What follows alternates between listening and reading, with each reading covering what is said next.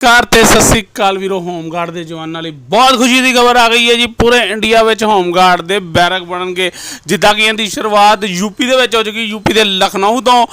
ਪਹਿਲਾ ਬੈਰਕ ਬਣ ਗਿਆ ਜੀ। ਤੇ ਉਹ ਬੈਰਕ ਦੀ ਆਪਾਂ ਤੁਹਾਨੂੰ ਫੋਟੋ ਦਿਖਾਤੀ ਹੈ।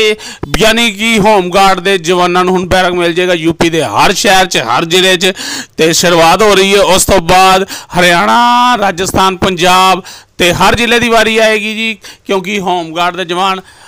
ਪੁਲਿਸ ਦੇ ਨਾਲ ਕੰਧੇ ਨਾਲ ਕੰਧਾ ਮਿਲਾ ਕੇ ਖੜੇ ਨੇ ਤੇ ਇਦਾਂ ਹੀ ਔੜੇ ਨੇ। ਤੇ ਜੇ ਹੋਮਗਾਰਡ ਦੇ ਜਵਾਨ ਸਾਡੀ ਵੀਡੀਓ ਨੂੰ ਪਸੰਦ ਕਰਦੇ ਹੋ ਤੇ ਹੁਣੇ ਹੀ ਲਾਈਕ ਤੇ ਸ਼ੇਅਰ ਕਰ ਦਿਓ ਤੇ ਸਬਸਕ੍ਰਾਈਬ ਕਰਕੇ ਜਾਂ ਘੰਟੀ ਦਾ ਬਟਨ ਨੂੰ ਜ਼ਰੂਰ ਦਬਾ ਦਿਓ ਤਾਂ ਕਿ ਆਉਣ ਵਾਲੇ ਵੀਡੀਓ ਦੇ ਨੋਟੀਫਿਕੇਸ਼ਨ ਉਹਨਾਂ ਨੂੰ ਮਿਲਦੇ ਰਹਿਣਗੇ। ਤੇ ਬਾਕੀ ਤੁਹਾਨੂੰ ਦੱਸ ਦਈਏ ਮੋਦੀ ਸਰਕਾਰ ਨੇ ਕਹਿਤਾ ਹੁਣ ਹਰ ਜ਼ਿਲ੍ਹੇ 'ਚ, ਹਰ ਸ਼ਹਿਰ 'ਚ ਹੋਮਗਾਰਡ ਦੇ ਜਵਾਨਾਂ ਨੂੰ ਰਹਿਣ ਲਈ ਥਾਂ ਚਾਹੀਦੀ ਹੈ ਕਿਉਂਕਿ ਹੋਮਗਾਰਡ ਦੇ ਜਵਾਨ ਵੀ ਇਦਾਂ ਹੈਗੇ ਨੇ ਜਿੱਦਾਂ ਪੁਲਿਸ ਦੇ ਕੁਆਟਰ ਬੰਦੇ ਨੇ ਪਰ ਹੋਮਗਾਰਡਾਂ ਲਈ ਕੋਈ ਵੀ ਇਦਾਂ ਦੀ ਸੁਵਿਧਾ ਪਹਿਲਾਂ ਨਹੀਂ ਸੀ ਤੇ ਹੁਣ